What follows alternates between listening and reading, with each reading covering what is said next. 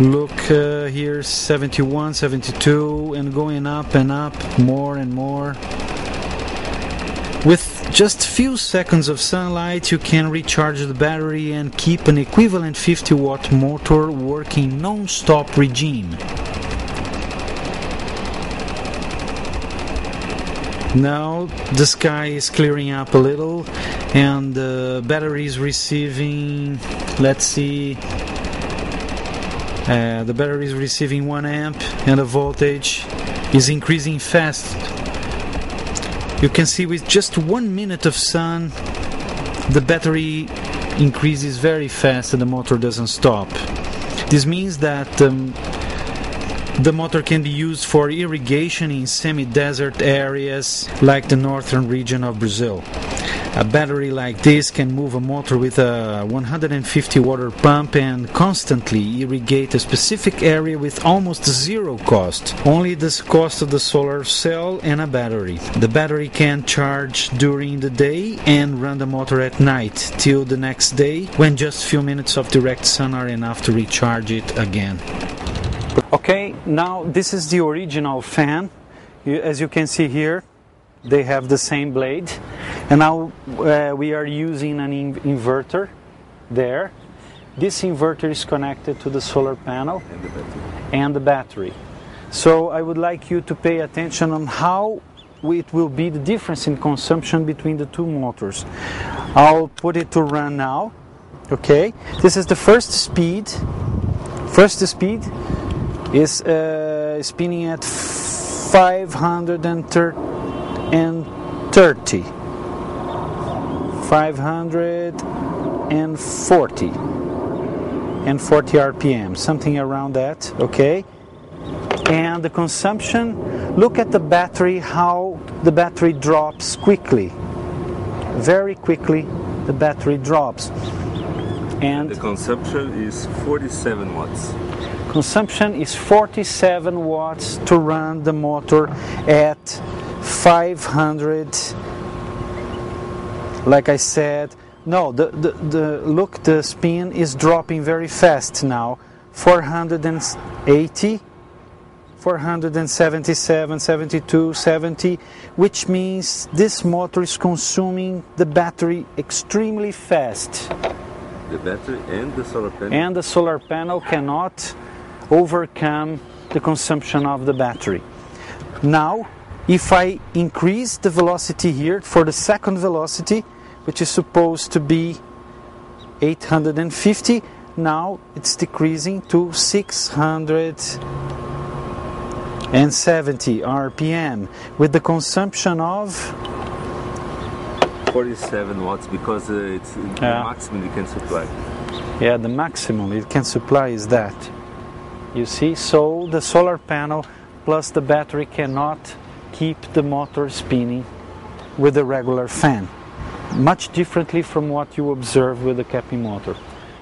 Tem alguns comentários. Uh, the engineers have any comments about what we just saw?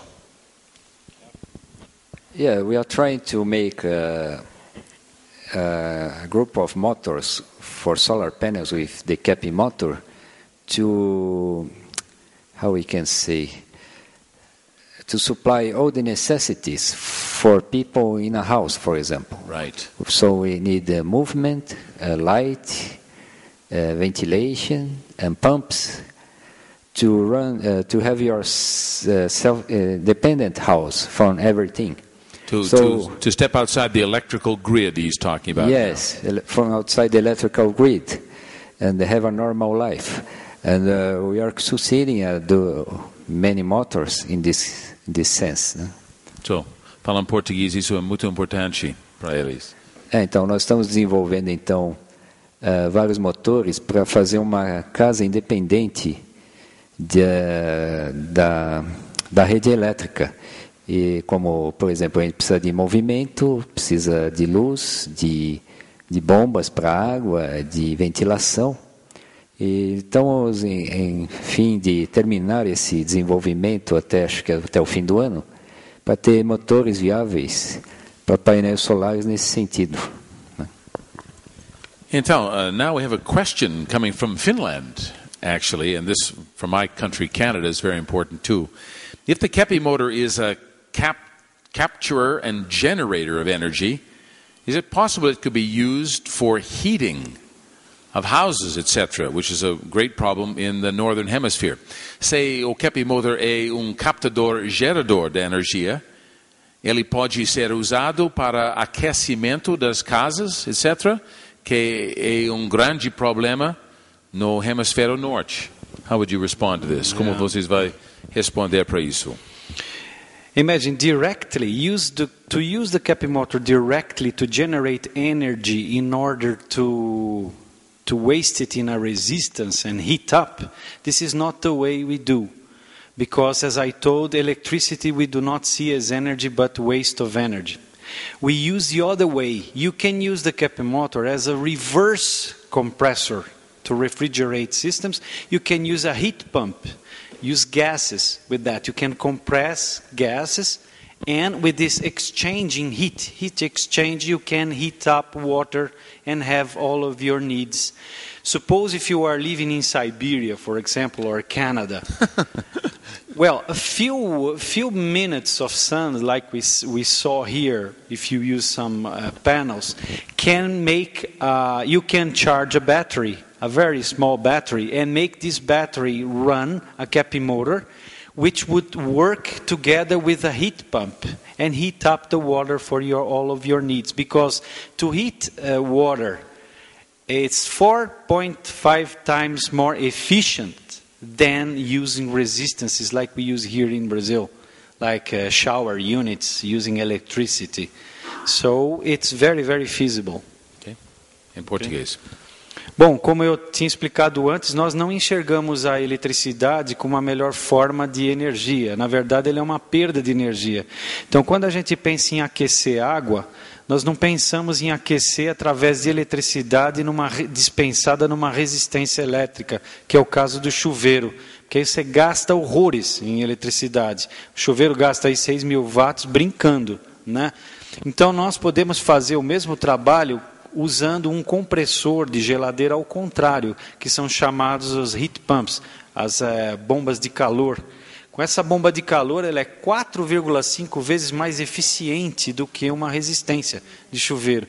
Então, nós poderíamos reduzir drasticamente o consumo de aquecimento de água, usando, por exemplo, em regiões muito frias, como a Sibéria ou mesmo o Canadá, alguns painéis solares que alimentariam uma bateria que mexeria, por sua vez, um cap motor acoplado a um compressor reverso, uma bomba de calor. E aí nós teríamos água abundante e quente para todo o inverno. Uma grande resposta para nosso lado northern hemisphere north. It's yes. a very good answer for us from the north. It'll be very interesting. A couple more questions, my friends. Uh, maybe you should read that one, Cesar, in Portuguese, and we'll try to uh, translate it in English. A, we have two questions from the same person, it looks like. Uh, we have here a question from Ado, São Paulo. He would like to would like us to explain a little bit the question of the torque of the Keppe motor, how the torque is maintained. I understand. He says he has difficulty in understanding the energy consumed by this motor by one reason. Yeah, but he says just one here. Yeah. Ah, second. First, we need energy to start the process, right? And the second, the motor needs to generate. Uh, if the motor can generate electricity too, yeah. So, let's, vamos falar em português. Poderiam explicar. Vocês, melhor para falar. é, o Ado aqui de São Paulo, em português, faz a seguinte pergunta: Poderiam explicar a questão do torque versus o Keppe motor, né? Do Keppe motor? Eu tenho dificuldade em entender a energia consumida por esse motor por dois motivos. Primeiro, nós precisamos de uma energia para iniciar o funcionamento do motor, certo? E segundo, o motor pode gerar energia elétrica também.